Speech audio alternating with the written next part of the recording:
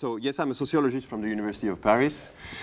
I'm basically interested in political ecology uh, from a theoretical as well as an empirical uh, standpoint. And lately my fieldwork, work, empirical fieldwork, has been about climate risk insurance. Climate risk insurance, that is the transformations of climate risk insurance in the context of climate change.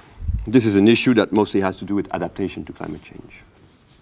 My basic question is the following it is that with rising natural catastrophes in countries of the global south as well as the global north, people will need financial protection more and more against rising risks. And by financial protection, I mean insurance, so as to be able to reconstruct their lives as quickly as possible uh, after a catastrophe hits. Thus, insurance will be a very important part of adaptation to climate change.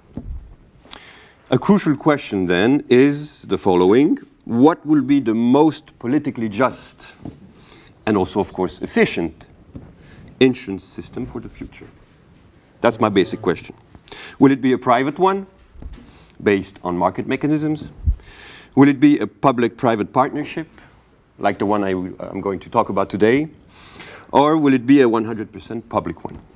The, the article you read from Development and Change, the article I sent, is mostly about financialized forms of insurance, and especially so-called catastrophe bonds.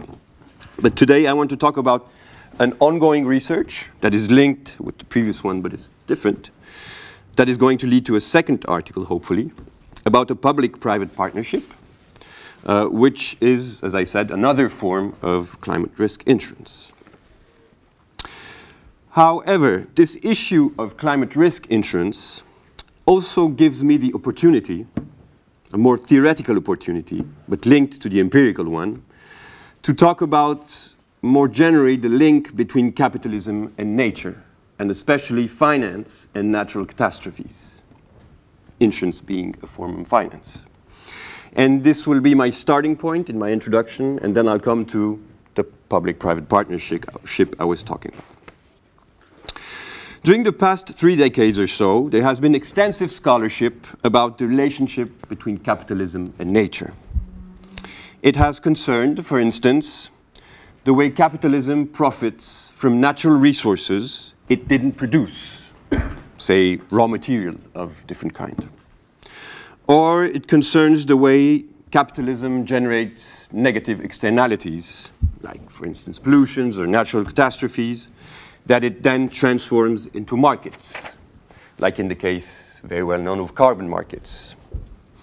Much of this scholarship comes from heterodox economic approaches, typically Polanyian, Marxist, post-Keynesian, or from strands of political ecology uh, who are interested in economic matters, uh, influenced by authors like Nicolas Georgescu-Roegen or Joan Martinez Alier.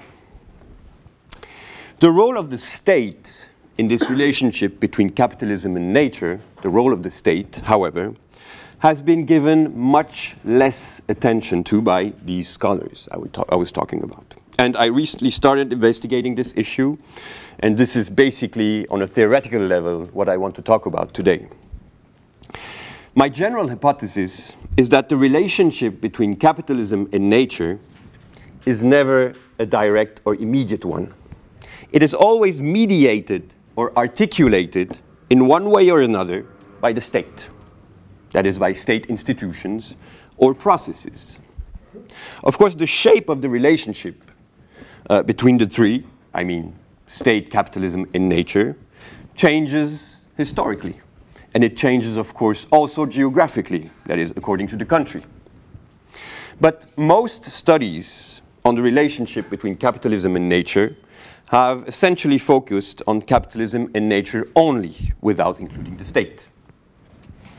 My understanding of capitalism comes from authors like Gramsci, Antonio Gramsci, or Nikos Poulantzas. According to these authors, this strand of Marxism, of political Marxism, so to speak, well, there's no such thing as capitalism alone. The state, the integral state, as Gramsci would put it, uh, is always around. So one has to think about the relationship between capitalism and nature, but also how the state intervenes in the relationship between the two. This research takes place in a larger project, which is to understand the transformations of the state in the context of the environmental crisis. And understanding the coming transformations of the state that have already begun, and its evolving relationship with the economy, and especially capitalism, is of course crucial. The state, especially, will undergo growing pressure in the decades to come to manage the catastrophic consequences of climate change on society. Hence, understanding the state in the Anthropocene, the state, how a state will evolve in the Anthropocene, in the climate crisis if you want, is a subject we should definitely uh, study more, in my opinion, including for political purposes, not only for analytical purposes, but also political ones. Now, my research question here, the one I want to talk about, concerns a litigation between two French reinsurers, CCR, la Caisse Centrale de Réassurance, la Caisse Centrale de Réassurance, and SCOR, la Société Commerciale de Réassurance. It is a litigation that has taken place in the past decade and in France. This is a French uh, situation or litigation. This conflict between two, these two reinsurers concerns a natural catastrophe reinsurance scheme or system that exists in France, which is known as the CatNat regime, le régime CatNat. I will talk about it in a minute. And my research strategy is that this litigation between these two reinsurers well reveals something of the growing tensions of the more and more complicated relationships between capitalism, the state, and nature in the Anthropocene. Just before I start, maybe a quick word about the definition of reinsurance, because I'm not sure everyone knows uh, precisely what reinsurance is. Well, reinsurance is uh, an insurer's insurer. Policyholders, like you and me, we buy insurance policies from an insurer and the insurer himself will transfer part of the risk to reinsurers. And in return for the risk transfer, of course, the insurer pays premiums to the reinsurer. Generally, it is the, costly, the costliest risks that are transferred to the reinsurance level. Say hurricanes in the Caribbean, say tsunamis and earthquake, earthquakes in Japan, say terrorism in France, etc. These are the costliest risks that are transferred to the reinsurers level. The biggest reinsurers today are Munre, Munich Re, and uh, Swiss Re. Uh, these are huge financial companies, and they are one of the earliest globalized financial companies. Reinsurers diversify risks by lines of risk, say property and casualty, business interruption, health, etc., etc. But they also diversify risk by regions of the world. Okay, so this is basically a very basic definition of reinsurance, which is a level that is, so to speak, upstairs uh, from the insurance we know and we buy as policyholders. now, a word about CCR, SCOR, these are the companies in litigation, and the CatNat regime, which is the object of the litigation. CCR, the Caisse Centrale de Réassurance, is a central institution in the French climate risk insurance system, the so-called CatNat regime. It was funded, founded in the 40s as a 100% state-owned reinsurer. It became a limited liability company in the 90s. But today, CCR remains state-owned. It also partly operates as a private reinsurer in France, but also in other countries. But CCR also functions as a state apparatus, and this is the object of the litigation I will talk about. SCOR, la Société Commerciale de Réassurance, is currently the fourth biggest reinsurance company in the world, after Munich Re and Swiss Re.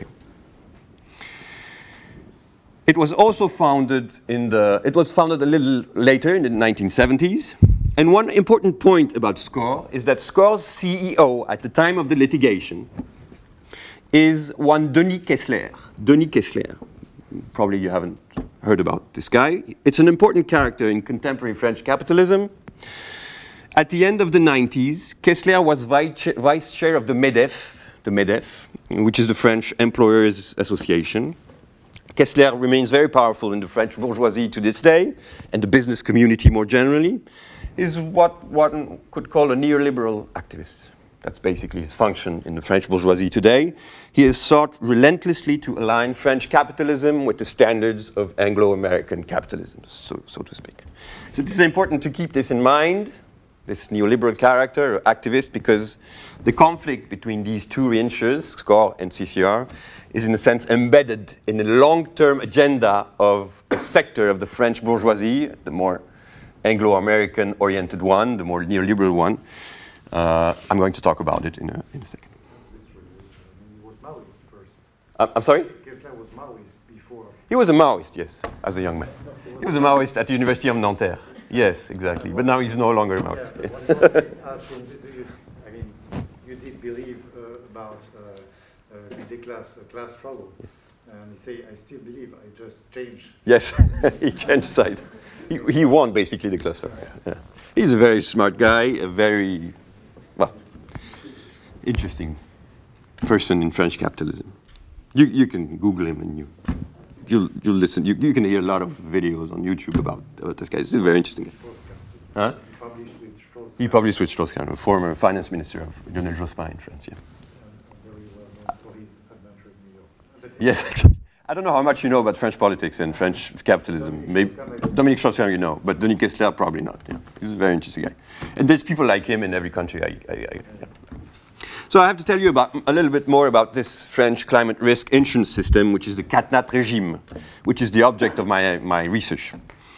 CatNat regime stands for Régime d'indemnisation des victimes de catastrophes naturelles. So in English, it's Natural Catastrophe Victims Compensation Law.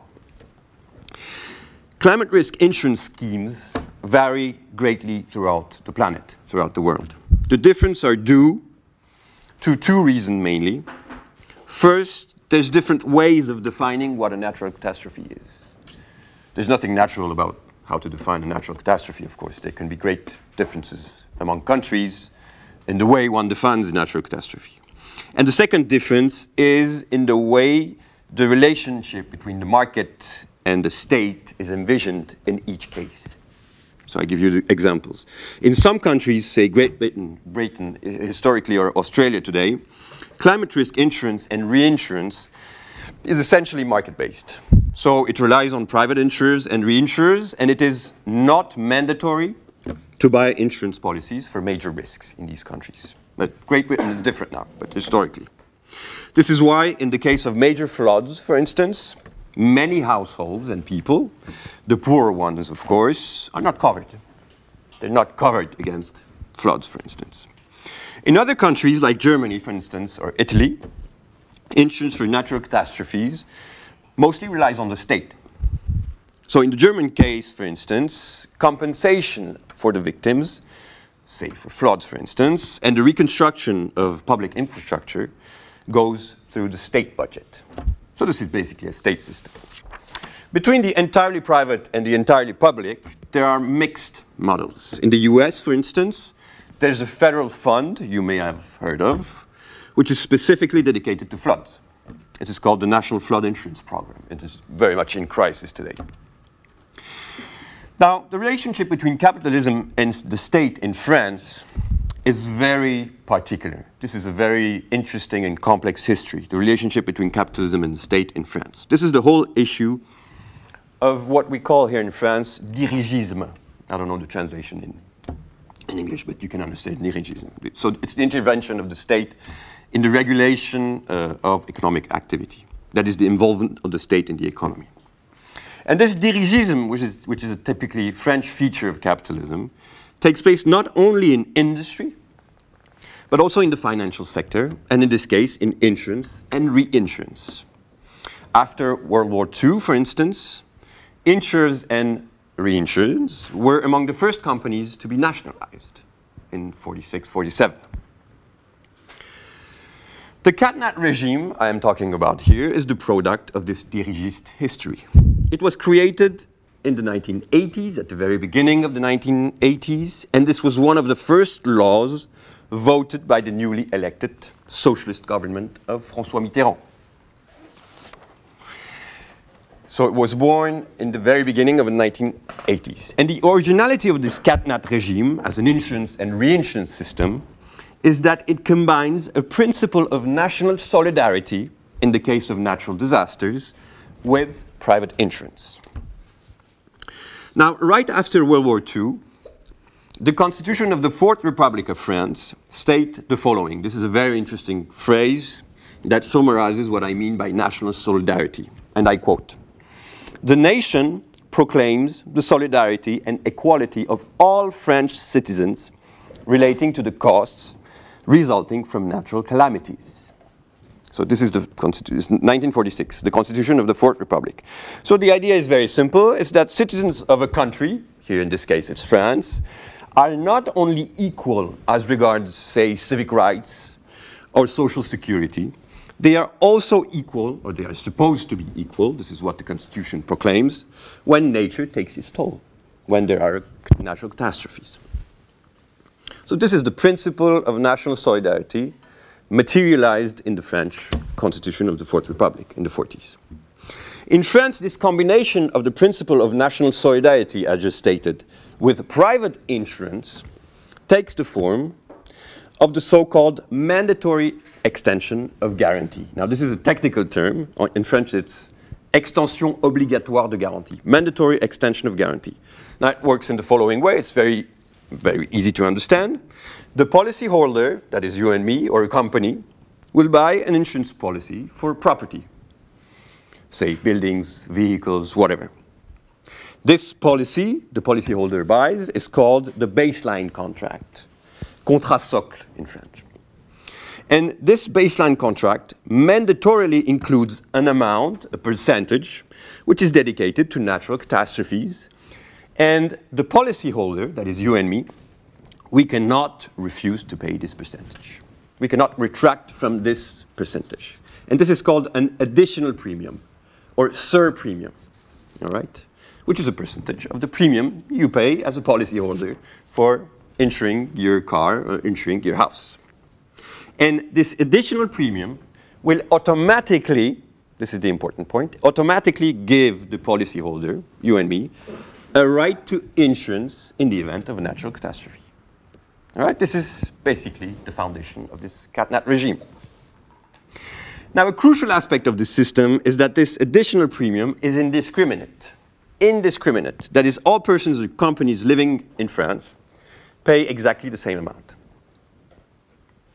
regardless of their exposition to risk. It is not because you live in a risk-prone area, or for instance, a flood-prone area, that you will pay more of this additional premium. It is the same premium for every citizen. So, say, as a person living in Paris, I live in a region where there's no, say, storms. But as a French citizen, I will pay the same amount as a person living on the Atlantic coast, all right, who lives in a region where the risk is higher, of course, of storms. So the idea is that through this surpremium, through this flat surpremium, there's something of this national solidarity between citizens in France that is, that is expressed. All right? Of course, the premium itself will vary. It is, of course, more expensive to insure a house on a beach where storms occur frequently than in Paris. This is the premium part. But the surpremium is flat. So there's no difference. And this flatness, so to speak, is again an expression of the principle of national solidarity between citizens uh, in the case of natural catastrophes. This is a, a, way to construct a nation, in a sense. A nation that is constructed not as regards civic rights or social security or other features of modern nation states, but in the very relationship between each citizen and a natural catastrophe that can occur anywhere on the national territory. CCR is the CatNat regime's reinsurer. So private insurers transfer part of the risk to CCR. So when a natural disaster costs exceed a certain level, this is how reinsurance works. Yes, please. So the sub-premium is, is it proportional or is it like fixed? No, it's fixed. It's flat. It's fixed.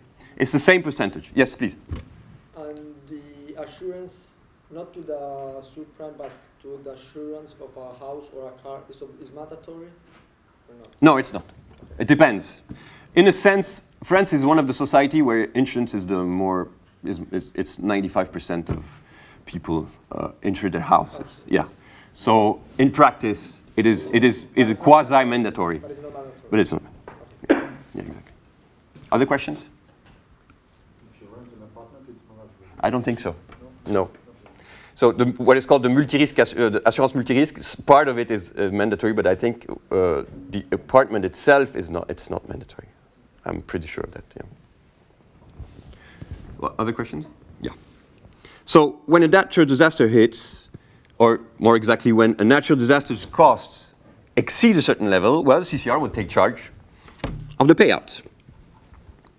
Insurers, say, will transfer 50% of the risk by paying premiums to CCR, and CCR will cover the equivalent 50% of damages uh, beyond a certain level. Right? This is basically how reinsurance uh, works. So this is the first level of risk transfer. This is the one that goes from insurance to reinsurance. However, there's a second level of risk, and this is where it gets interesting, in my opinion, that goes from CCR to the state. All right? The first one goes from the insurers to CCR, and then there's a second one that goes, that goes from CCR to the state. CCR benefits from the so-called guarantee of the state, la garantie de l'État, the guarantee of the state. This means that in the event of a very large disaster, when normal reinsurance cannot deal with the level of payouts involved, so these, these are very big disaster, well, the state becomes the insurer of last resort. And here the mechanism is exactly the same as at the lower level between, I mean, private insurers and CCR. That is, the state takes charge of damages when they exceed a certain level, uh, and in return, CCR will pay, will pay premiums to the state. In other words, the guarantee of the state is not free. You have to pay for it as CCR. However, and this is also a very important point, the amounts involved in case of a very big disaster are potentially much higher for the state than the level of premiums that are paid by CCR. In practice, this means something very simple. It means that unlike normal reinsurers, CCR can never go bankrupt. Never happens. Because it is backed by the state, obviously. So reinsurers going bankrupt after catastrophic events, say 9/11 in New York, uh, or Katrina, or Fukushima, etc., is a pretty common phenomenon. It happens, not a lot, but it happens. But this cannot happen to CCR. And of course, this has many implications for CCR and for the reinsurance sector in France. Especially, I'm going to go, come back to this later, the level of premiums, that is the calculus of risk CCR can offer to insurers, is of course greatly influenced by its position and especially by the state guarantee. And so is the competition with other reinsurers. I'll come back to this in a second. So this, I will maybe pass this. Since, since the 19th century, in some, the state has played a role of insurer in last resort for great catastrophes. But according to the country, this takes different forms. So this is the form it takes in, in France. Defining what counts as a natural disaster is a crucial aspect in this system. And the reason for this is that the CatNat regime is triggered only when a certain type of natural catastrophe hits. Hence, the nature of the catastrophe, the ontology, so to speak, of the catastrophe, matters greatly.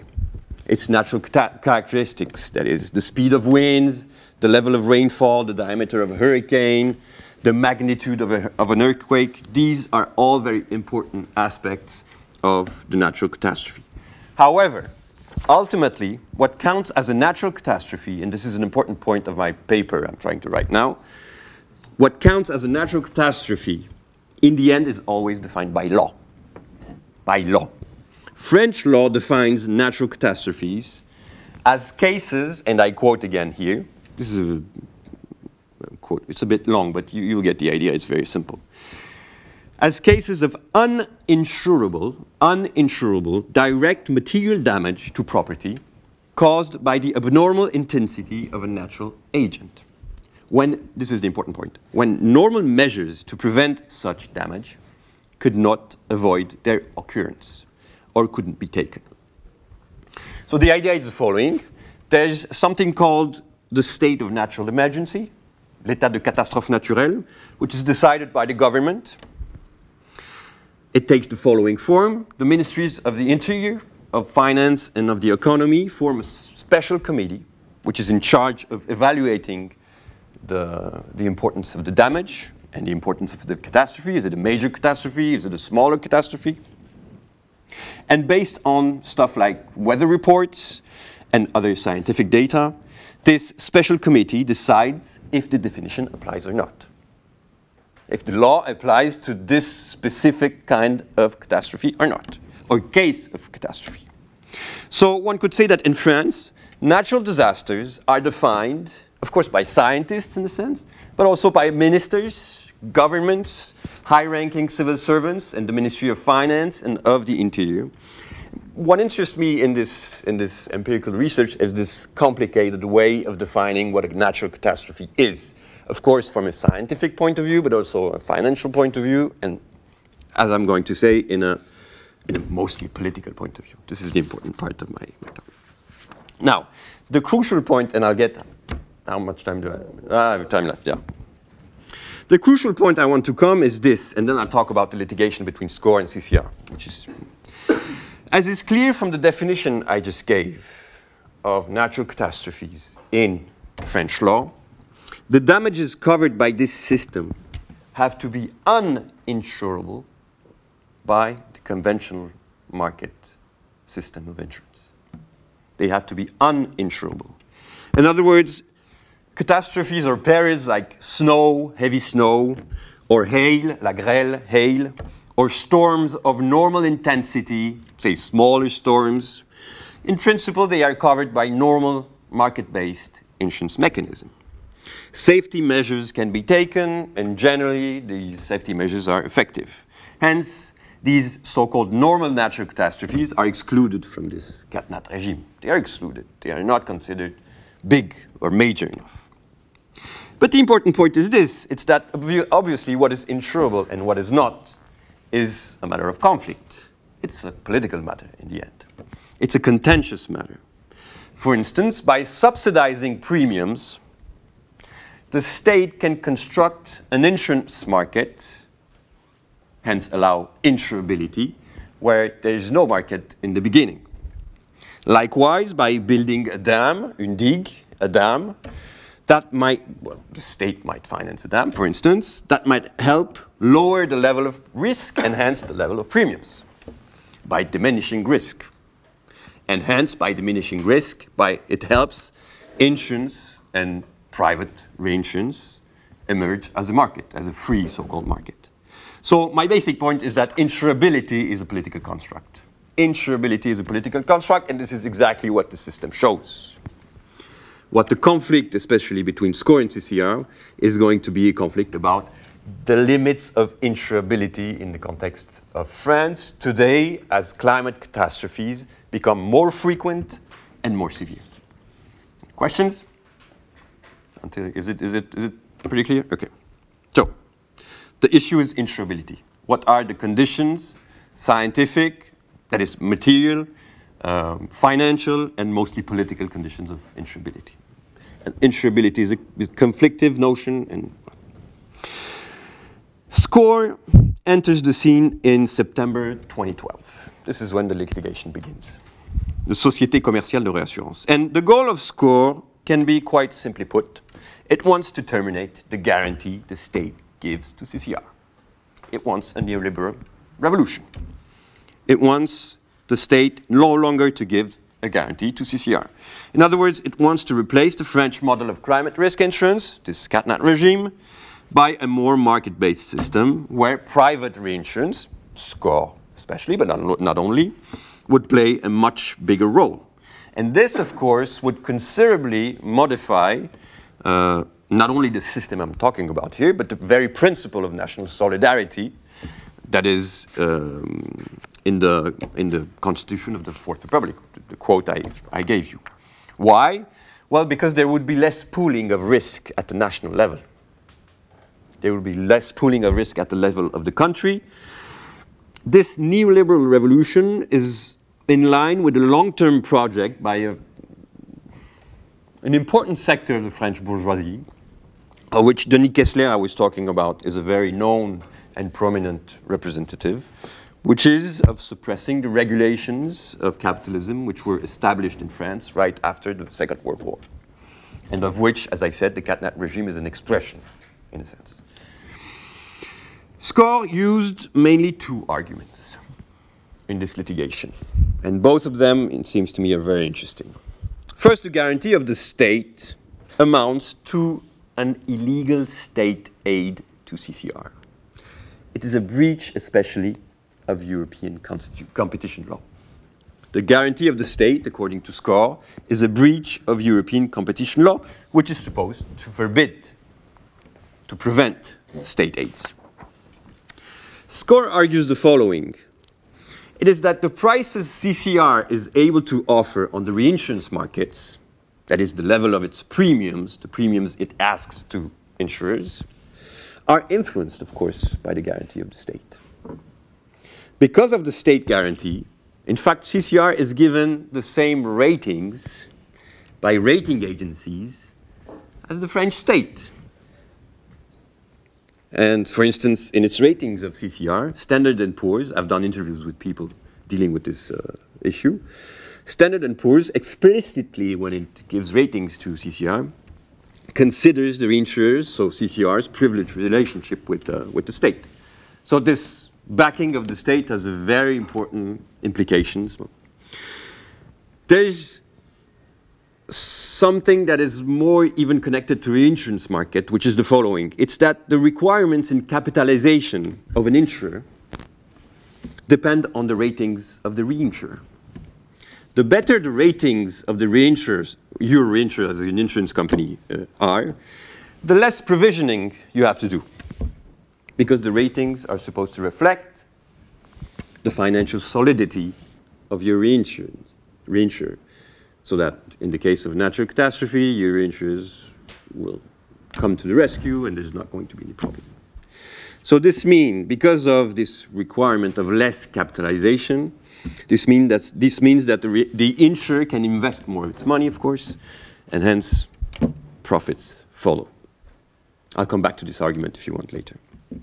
Secondly, according to SCOR, this is the second argument, the guarantee of the state will put excessive pressure on public finances in the future. Why? Because in the context of climate change, with the growing number and severity of natural catastrophes, well, it is the taxpayer who will have to pay the damages if CCR stays connected with the French state. Ultimately, according to SCOR, this is what their lawyers uh, argued in the courts, it is ultimately the taxpayer who is going to pay the damages, and this is unfair to the taxpayer, according to them. Their argument, and SCOR was backed in this case by other big global reinsurers like Munich Re, they helped. I, I, have proof for this. This was not public, but people told me. People involved in, the, in, the, in this litigation showed me some documents showing that Munich Re or Swiss Re would be very happy to do away with CatNat regime and construct a, an insurance market. Uh, the argument is that reinsurance market, reinsurers have capacity that could be used instead of the state budget. Of course, you understand that this goes back to the, to the flat tax on, on, on premiums. What SCOR and other private reinsurers would ask in return, in the case there is a private market that emerges, is that they, be, they are free to select risk, of course. This is the important point. They would be able to select risk much more than in the current system. You understand that with the flat premium, with the sur premium, everyone basically in France is covered. So this has one implication, is that you can go and buy a house in a risk-prone area, and this means that there's going to be sort of national solidarity for you. So the price signal doesn't work in the French system. You, you understand this argument, yeah? So there's no incentive for people to leave floods-prone areas because everyone is covered. SCOR's argument is that we should do away with this system, uh, go towards a market-based system, select risk much more, and much more, of course, rely on the price signal to prevent people from going to buy houses in places or to stay in houses where we know now there's floods and natural catastrophes. So in a sense, in this alternative system that SCOR uh, favor, favors, there, there would be much more risk selection, there would be differentiation of premiums, so the surpremium wouldn't be flat anymore. That's the, the basic argument. Now, the French state took the defense of the guarantee. The French state defended the guarantee, and behind it, it defended the principle of national solidarity I was talking about. Now, this defense is in itself very interesting. At the end of the 20th century in France and many other countries, there have been plenty of privatizations, as you know. This is the neoliberal revolution. Privatizations in France implemented by left-wing and right-wing government as well. We were talking about Dominique Strauss-Kahn. So it is an interesting question to ask to know why wasn't CCR privatized? Why wasn't CCR privatized as many other companies in the French private-public system? And why is the CatNat regime still here with us? Well, the main reason is fairly easy to understand. It's that enough actors, private actors in the system, take advantage from this public reinsurance scheme. And hence, many private actors have an incentive to maintain it in existence.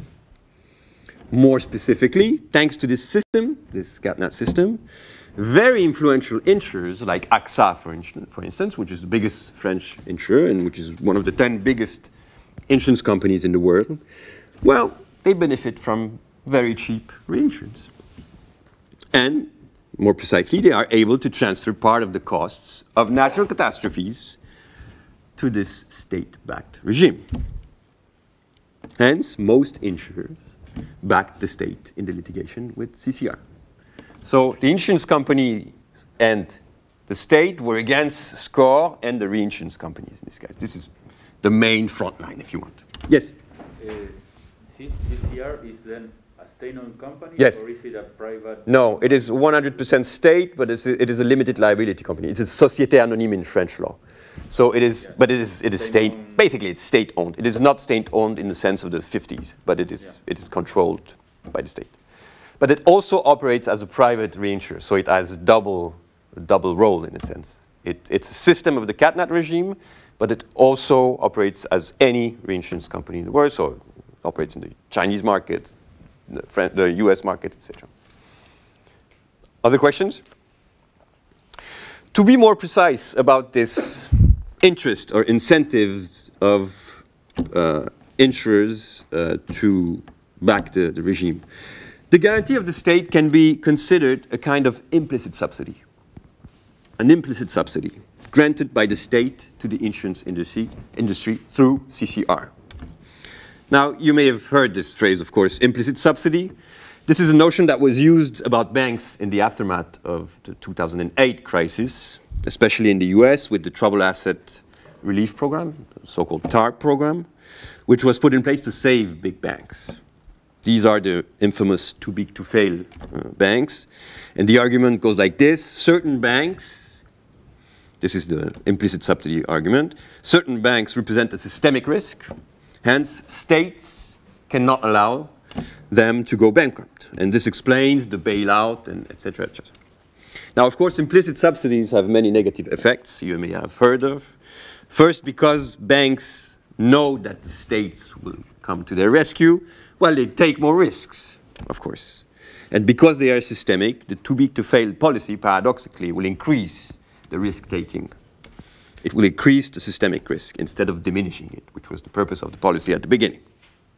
And secondly, uh, the state guarantee, or more generally the implicit subsidy, will improve the ratings these banks receive, receive from rating agencies like Standard & Poor, and hence decrease the interest rates at which they will borrow.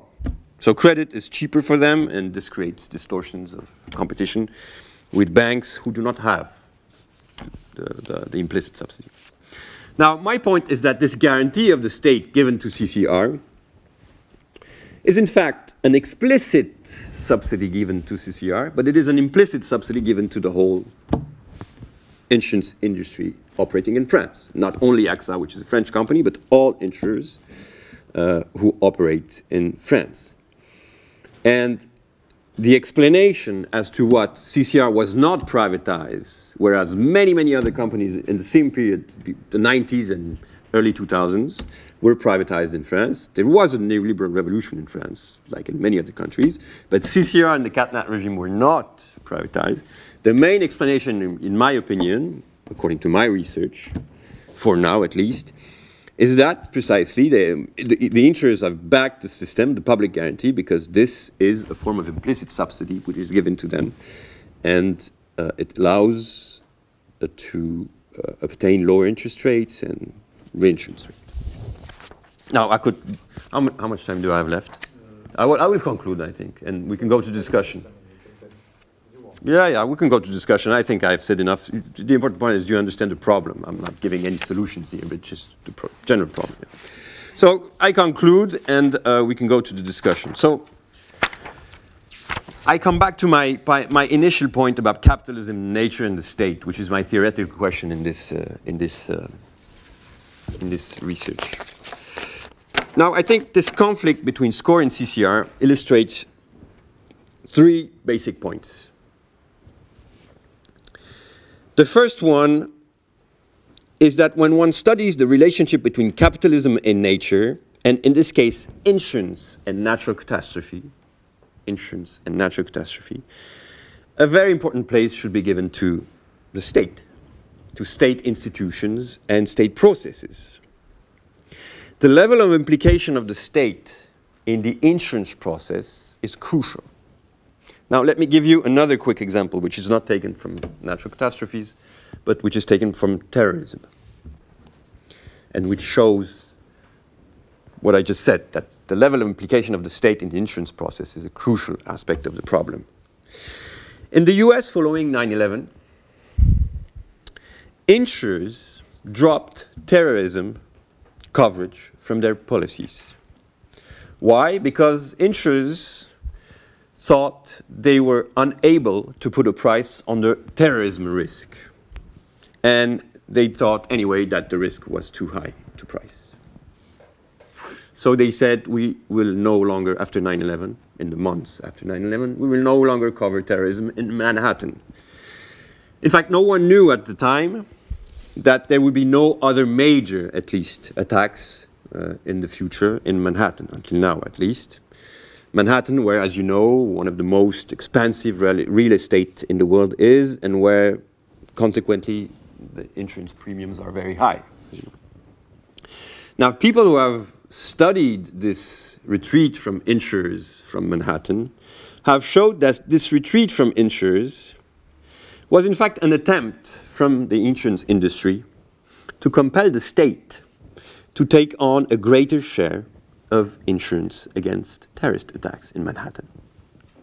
So they wanted to push the state to take a greater part in covering terrorism uh, in people in places like, like New York. Now, in fact, it was not successful. What the state did is not pay more. They compelled legally the insurance industry to come back and to cover terrorism in Manhattan. So there is private uh, coverage for terrorism in Manhattan today. Okay? So this shows you that insurability is fundamentally political. It's a relation of force between different actors present, and especially between the insurance and reinsurance industry and the state. The state could, could have paid, they could have subsidized the premiums, they could have done many things. What they chose to do is to enforce the law in fact, which compels the insurance. So you understood the point.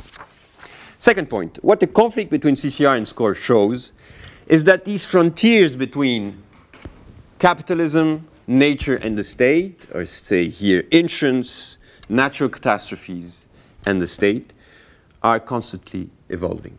They are constantly evolving. These frontiers or limits are subject to strategies of different kinds of private actors and public actors. In the case I'm talking about SCOR, but also other global reinsurers, CCR, the French state, the French, French high-ranking civil servants in the Ministry of Finance, in the Ministry of the Interior. I didn't talk about this, but the people in the Ministry of Finance were more in favor of, of reform, of neoliberal reform, which is, of course, expected. People in the Ministry of the Interior were firmly against. So there was including a conflict inside of the French state as to what should we do about this CatNat regime. So the conflict is not only between the state and capitalists, it's inside of the state, and it's inside of capitalists since, as I said, on the one side you have the reinsurance industry, and on the other side you have the insurance industry, which receives this implicit subsidy through CCR. Yeah, I hope it's clear. Yeah. So this is, this is one of the important points I think one can uh, conclude from this research It's that the frontiers between finance, nature, natural catastrophes, and different state apparatuses are conflictive and evolving frontiers. My third and final argument, and I'll stop here, is more, say, abstract or theoretical. It's not very clear in my mind, but I'll, I'll just state it. It is that, in a sense, one could say that the state constructs nature for capital to exploit. The state constructs nature or natural catastrophes in certain ways for capitalism to exploit or not to exploit in the case of the CatNat regime. Through infrastructure building or the creation of property rights or the subsidizing of premiums or the building of dams, stuff like that. Well, the state constructs nature in certain ways or delimits frontiers inside of nature in certain ways so as to allow capitalism to exploit certain parts of nature, of natural catastrophes in this case, and preventing capital to, to do so. There is a very interesting concept by Christian Parenti, who's a was a student of David Harvey, so it's radical geography, Marxist geography. Christian Parenti, he, he calls the state an environment-making entity. Environment-making entity. This is very, in, in, my, in my opinion, a very interesting concept. The state makes environments, in different ways, of course. Some of these environments can be exploited by capital, others cannot, and the interesting issue is, is what kind of nature, of what kind of environments the state constructs, and where do the frontiers pass between different types of nature. So in the case of the CatNat regime, the state defines what counts as a certain type of natural catastrophe, which is covered by this system, the CatNat regime, and by doing this, it draws a limit between insurability by private market mechanism and uninsurability, that is a system which is public-private, which is covered by basically by the, by the state. In other words, the state will weigh or influence on the insurance industry's solvability and profitability, in the, of course, in levels in the, in the present and, and the future. And this is, I think, uh, this is, I think, to come back to the, to the, to the the works I was talking about, the research I was talking about, Polanyian, Marxist, and post-Keynesian about capitalism and nature. It's been 30 years now that uh, scholars, mostly heterodox economists, have talked about this issue of capitalism and nature. You may have heard, heard of people like Jason Moore, for instance. Uh, there's, there's, many of them. Uh, Larry Lohmann, very, very interesting people. But I think one of the flaws in this research is the absence of the state we should reintroduce the state and think of a relationship not only between capitalism and nature, but three entities, which is capitalism, the state, and nature.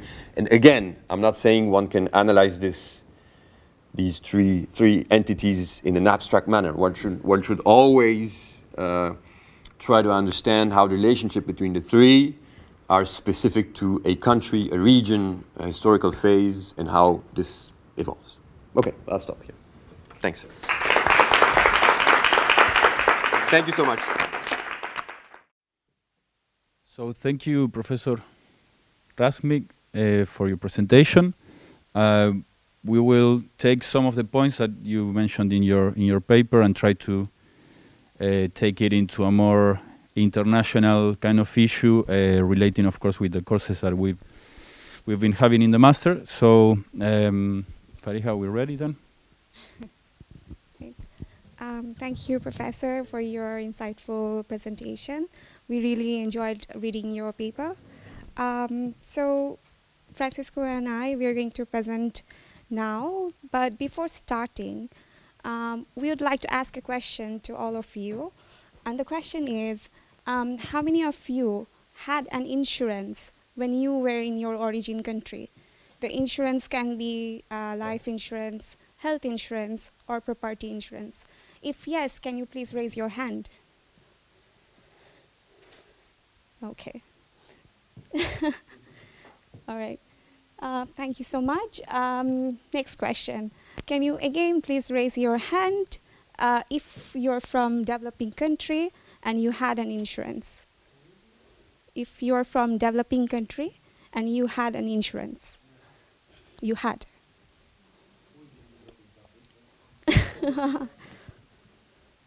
Okay, thank you so much.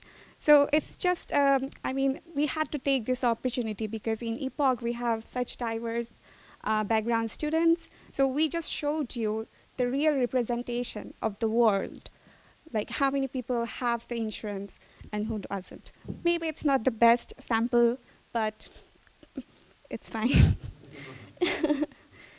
All right. Um, so we will quickly go through the main findings.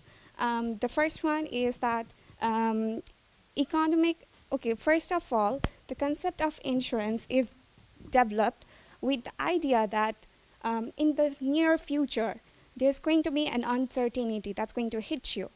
And for that, so that you can tackle that, so that you can, you know, step on your feet, um, that's why you take the insurance.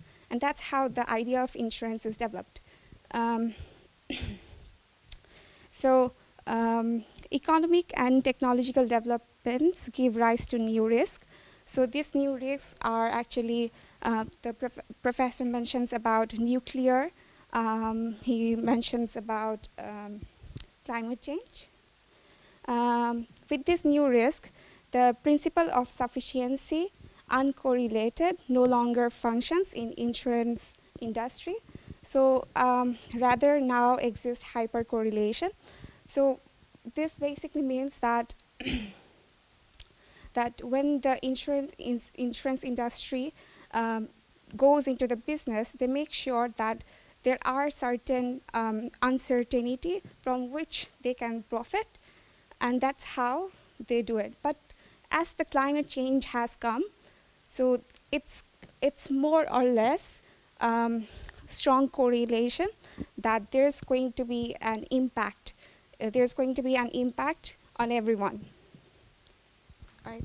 Um, okay, so I mean, the main findings already have been explored by professors, so we will just quickly go through some of the graphs. So what you see here is the natural disasters per continent from the year 1900 to 2019.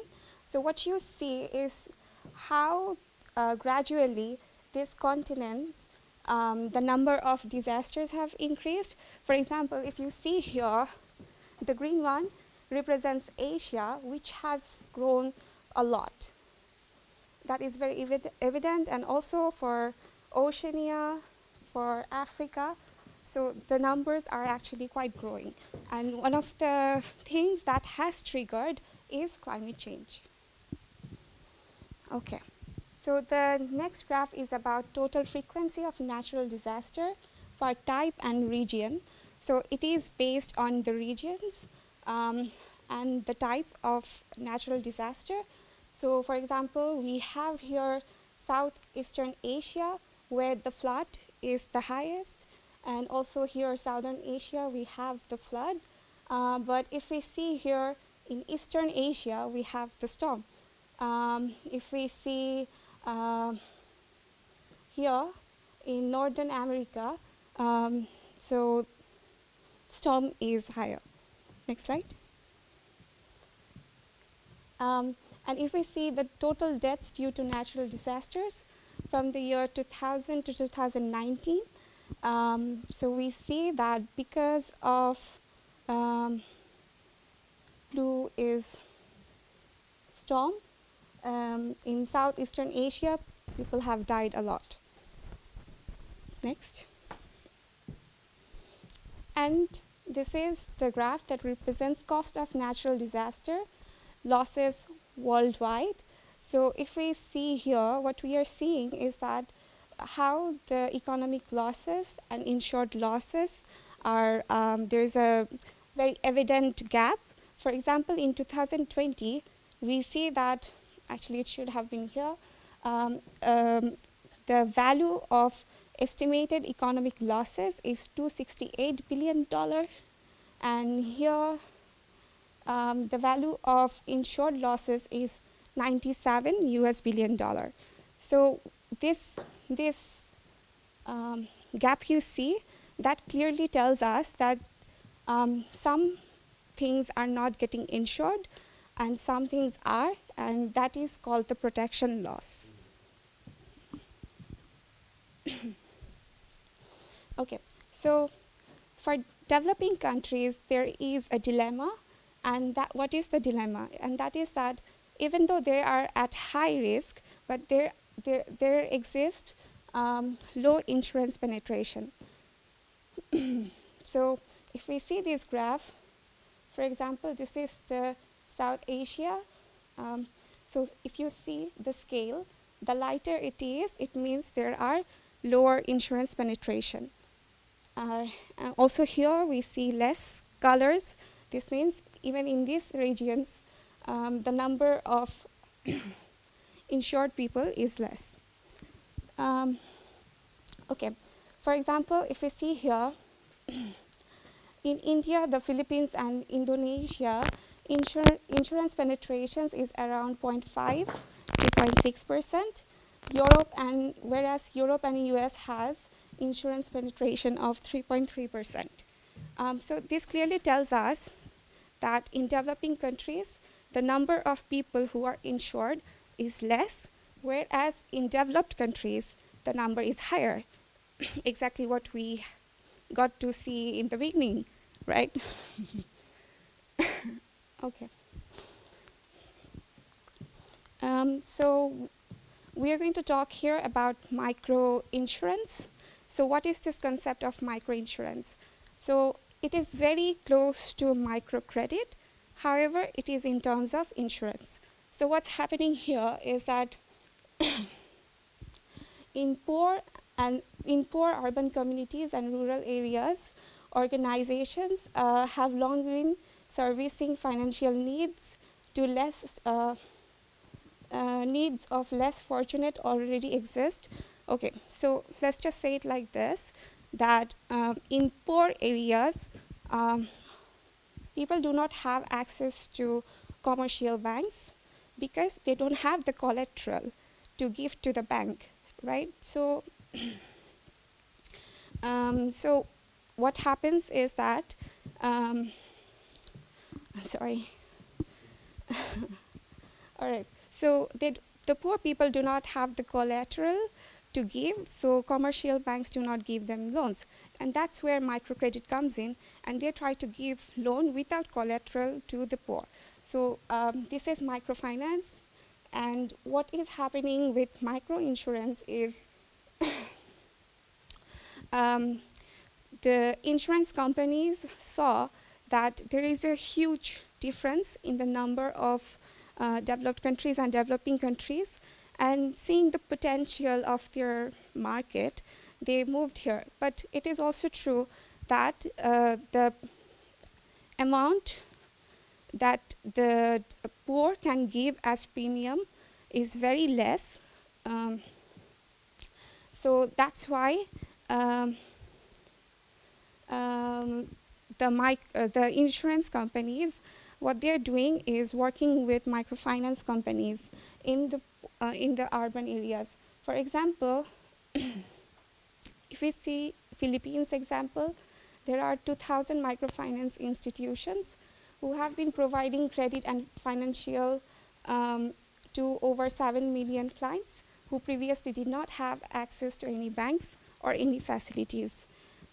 Um, so this is how microfinance and microinsurance are working hand in hand in rural areas in developing countries. So I have a question about this, but I will ask it later. So I'll hand it to Francisco. Thank you, Fariha. Well, so as as uh, Fariha just showed, we've seen uh, there's a differential impact of climate change across regions, across countries, and uh, there is also um, a differential. Thank you, Mael. A differential uh, capacity to to face these these uh, increasing natural risks, right? So, uh, in this sense, part of the uh, we can we can think of insurance or the, the insurance industry, insurance and reinsurance industry as part of the adaptation measures to face to um, climate change impacts. Uh, in this sense, uh, a very brief uh, historical uh, review shows that the emergence of the, the um, natural risk insurance schemes are intrinsically linked to the emergence of the world market and imperialism. We would go back to the days of the discovery, the so-called discovery of Amer- the Americas. Um, and then, since the 19th century, uh, the reinsurance companies, as Professor Razmig was just uh, pointing out, were one of the earliest uh, globalized companies. Uh, Lazonick and O'Sullivan also put a central role of institutional investors in the rise of financialization and shareholder value. And we can therefore think of this, uh, we're trying to move towards the, the linkages between the insurance and reinsurance industries and financialization. Um,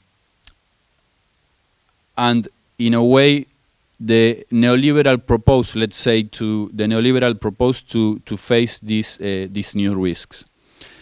Um, so, can we think, therefore, as a, a neoliberal climate adaptation global system based on market market mechanisms? And if so, how uh, which would be the, the limits and vulnerabilities of such a system? So. Uh, let's go to the balance sheets then of the insurance companies. We can see here in this graph uh, the composition of the assets of insurance companies and and well the importance of mainly bills and bonds. We can also see equity, land and buildings, uh, some cash and deposits, uh, according to to this data provided by the OECD.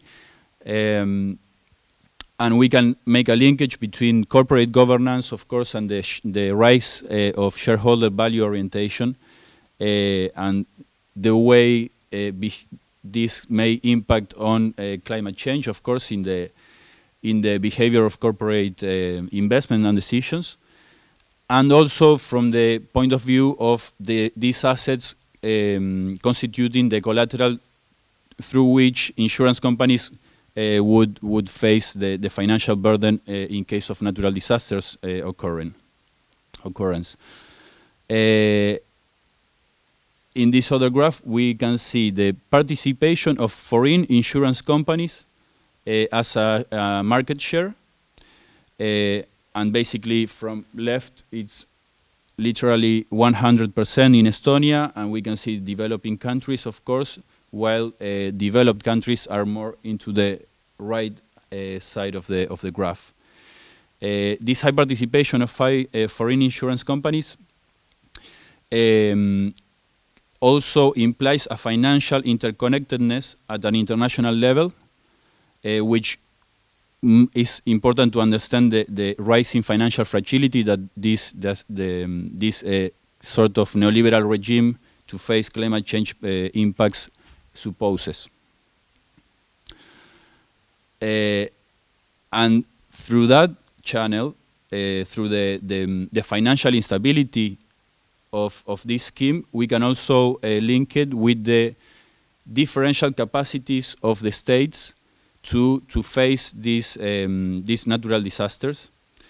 Uh, I will talk about this later, but uh, this is a good example because the, the paper you wrote it was in 2018, in fact, and then we had um, we had the, the experience of the pandemic. So it is interesting to see how, of course, countries uh, in the global south and in the global north were had different space of monetary and fiscal macroeconomic policy to respond to this emergency. So with these elements, I propose to do a conceptual simulation uh, inspired by the by the um, by the paper uh, of Professor Razmig. Um, so let's say let's imagine uh, a natural disaster with worldwide worldwide effects as a as a first step. Uh, then we have, of course, impacts, damages, losses uh, affecting households, some with or without insurance, depending on the on the segment of population and the and the country, to firms uh, and public sector. Insurance companies, in this situation, will have an increased liability because of the burden of responding to the damage and losses produced by the natural disaster with worldwide effects, and also a reduced assets, as we've seen on bonds and bills and equities, because precisely of the impacts of this, of this um, natural disaster. Uh, now, basically, the insurance companies may be able to financially respond to it or not. And in the second case, of course, we have a default risk and um, a default risk of the insurance firms, which, as we've seen, uh, these are um, these are internationally uh, embedded in, in this in this um, monetary and financial system, which supposes an, a, a, potential international financial fragility. Let's say if if, if insurance and reinsurance cannot meet the, their um, their financial uh, burden. So this is where the state intervention would appear as an insurer of last resort. Um, however, this means that uh, financial rescues and in, in, the case of state intervention would rescue these insurance and reinsurance companies, uh, that the state effectively can rescue them uh, and this raises some questions regarding the monetary sovereignty and the possibility to effectively emit in, by the monetary authority uh, pretty much as we saw in the case of Lehman Brothers, uh, if in the case I didn't. No? Um, so what would be the macroeconomic and distributional effects, especially in the global south, in the context of a, balance of payment a constrained economy? Uh, so basically, this would be like a, a, very simple way of thinking on the mechanism of on how financial instability would be added to environmental instability uh, in this neoliberal regime.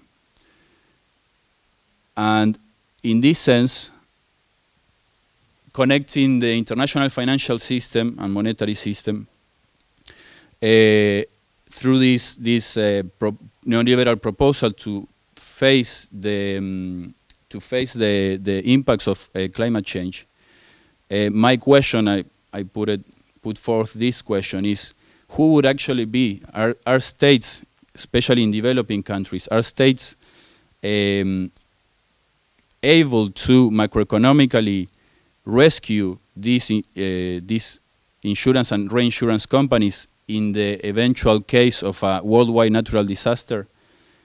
And if they are not, who would be the, um, the insurer of last resort, uh, considering, of course, the quasi uh, international uh, money role that the U.S. plays and the and the lack of of let's say a unified uh, or democratic international monetary system. Um, for my question, first I would like to quote um, of Professor Lyot. So he said, Oh, sorry. okay, so he said microinsurance is not a charity, it is a business. How can you make any money from a policy scheme where the premium is just a few dollars a year? So, uh, my question would be Microcredit is a privatized finan financialized scheme for ending poverty in developing countries, which is again a political goal. However, it has been criticized uh, by many scholars like Naila Kabeer, Jude Fernando, about that microcredit is bringing capitalism to the poorest of the poor. Um, so, um, and also similarly, microinsurance, which is again becoming privatized because microcredit and microfinance are working hand in hand. So, to what extent the government should intervene to ensure public's welfare does not get overlooked for private institutes' aim of profitability because microinsurance is again a business. So that's my question. Thank you.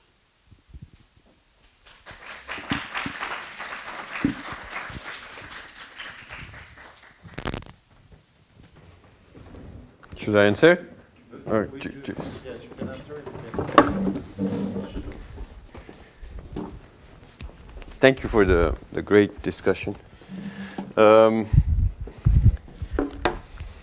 I don't uh, I don't have all answers to your questions, but um, the first thing I would say is that uh, there is no such thing as a natural disaster with worldwide implications. Natural disasters can be huge, very important, but they're always regional. You see what I mean? Uh, if you've seen the movie Don't Look Up, this is this would be a natural disaster with but this is not our situation. You, you understand that very well. This is this is not a very very good comparison with na- with climate change. This is not the way climate change is going to function. You see what I mean? Uh, so natural catastrophes can be big, they, they can be major, they can be, in a sense, long in their duration, but they're always localized in time and space.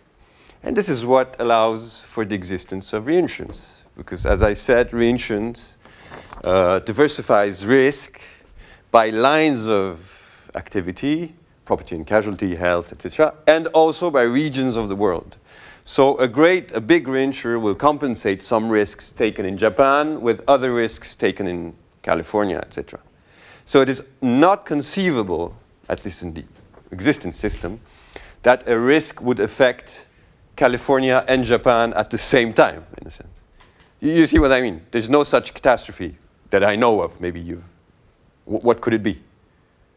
Apart from don't look up in that kind of scenario. You you see what I mean? So the very existence of the diversification of risk of insurers and reinsurers is the fact that catastrophes, however major, important, etc., are always regional, in a sense. Yes, please. But would the, the, the principle of hypercorrelation Yes. wouldn't wouldn't go in that in that line? Yes, it's hypercorrelation is the fact that in, a, in an insurer's uh, uh, liabilities, there's you, the, everyone doesn't have a car accident at the same time. This, this, this, is, this is uh, the, the, the absence of correlation. Now, the argument of hypercorrelation is the fact that with climate change, major catastrophes, uh, risks are pooled in very, uh, in very should say, at the same time, in a sense. But this doesn't change the fact that they're regional. Uh, There's some kind of hypercorrelation, but this hypercorrelation doesn't correlate risks in California and in Japan at the same time. Did you understand what I mean? So you're right, there is hypercorrelation, but it's not worldwide.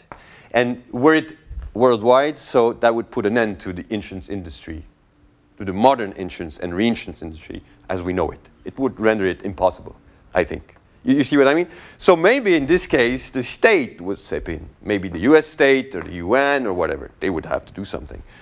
Maybe. But I, I can't imagine, I can't see, even in climate change, catastrophes so big that they would affect all regions of the planet at the same time. You see what I mean? This is, this is something we have to, to take very seriously because the, the, the space-time of climate change or of the environmental crisis is something that is not very clear because not many people have worked on this topic and this is something we should think about much more. This is not a case of one major catastrophe hitting the, the whole of the planet. It's not that way. this is gonna, this is gonna, the, the Anthropocene is a new period that is going to last for hundreds of years. There's going to be many, many, many, many catastrophes, but regional ones. Many people will die, but not at once, not at the same time, I mean. You understand? So uh, your hypothesis is very interesting. What would happen in that case? But this is science fiction, in my, my opinion. It wouldn't happen that way. You understand? But would it happen that way? I think the state should, should, would have to step in, and not only in the role of insurer of last resort, but in a sense, this is what I was suggesting when I, when I, when I said that there is, on the planet, there is no insurance, insurance system for climate risk that is 100% public, that I know of. It's always either a market-based system or private, public-private partnerships, but there's no 100% public one. But maybe that's the kind of option we, we should go to if there were such things as catastrophes that would affect the whole of the planet, you see? The Anthropocene or the climate crisis is going to be many catastrophes in many places, but not at the same time and not the same catastrophes. And this is the very condition of possibility of insurance and reinsurance. A risk should always be located in space and time for it to be covered by insurance. This, for instance, is the reason why there's no insurance for desertification. Because it's a process, uh, it's a kind of never-ending process. So you don't know where it begins and where it ends. So you can insure it. It's impossible to insure it. You understand? There's no insurance for the growing, um, how do you say it in English? The, the rising level of sea. You can't insure that because it's, you don't know where it starts, you don't know where it ends. It can have consequences on such and such house, for instance, or such and such community. And that you can insure because you know where it starts, where it ends, and you know how to localize in space the community or the house you're insuring. But the process itself you can't insure. So, uh, uh, so you understand what I say? Yeah. So this would be one, one answer. The, the, the question on micro insurance it's the, the question from Lloyd's, from the paper from Lloyd's. Uh, it's, uh, well, you, you, you have to have hundreds of millions of premiums. That's the only answer possible. You have to have lots of people who pay very little premiums so as to make it profitable. This is one part of the answer. So, for instance, where when Swiss Re or Munich Re or these people or the World Bank uh, go and, and propose for the for microinsurance uh, systems to be put in place in places like India or China, etc. What what they want is for the governments to ensure that millions of people are going to to adhere to the to the to the system. So this is one condition, and the other one is subsidizing by the state. It can be the state where the microinsurance system is put in place, or it can be the state of origin of the insurer or the reinsurer. So for instance, Swiss Re, which is a Swiss company, as you, of course, you, you understood, works with the Swiss government to put in place systems, systems of micro insurance in places like India or Ethiopia or et cetera, et cetera. So the subsidy comes from the country of origin of the reinsurer and not of the country, not of the government of the country where the system is put in place. So that can happen too. So this is thought as a form of cooperation international cooperation between governments, uh, governments and civil society, or governments and uh, private enterprises, uh, companies. So these would be my, my two, uh, my two uh, answers. Um, maybe there's a reference. Have you read the Daniela Gabor's paper, The Wall Street Consensus? You know what that is? It's a great paper about de-risking. Uh, and it's, it's not about insurance, but it's clearly about the, the link between pri private and public uh, entities in the context of, say, climate change. You know, it's a very, very interesting paper.